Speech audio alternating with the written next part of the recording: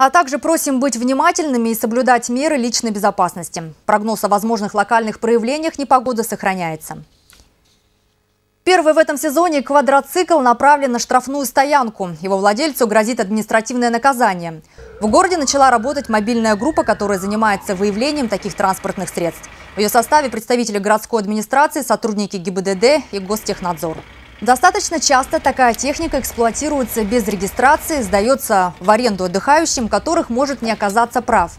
Происходит это на пляжах или на прилегающих территориях, где передвигаться на транспорте категорически запрещено. Водитель управляет без водительского, не знает правила дорожного движения, ездит по пляжу, по песку.